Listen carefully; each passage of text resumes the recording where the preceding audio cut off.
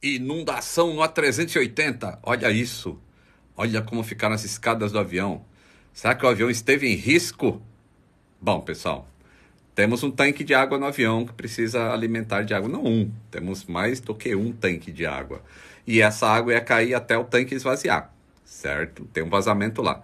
Onde corre mangueira, né, tubulação de água dentro do avião, e, e, é possível vazar água. Para proteger os equipamentos eletrônicos, existe uma bandejinha lá que faz o dreno dessa água para essa água não comprometer os, os, equipamentos eletrônicos. É óbvio que sempre estraga ali, né? O tapete vai ficar molhado, tem que fazer toda a limpeza. Mas esse avião mesmo chegou lá no, no destino em Washington, a manutenção trabalhou, consertou esse vazamento, o avião já voltou para a Inglaterra novamente. Então, é isso. Dá medo, mas não precisa ficar com medo.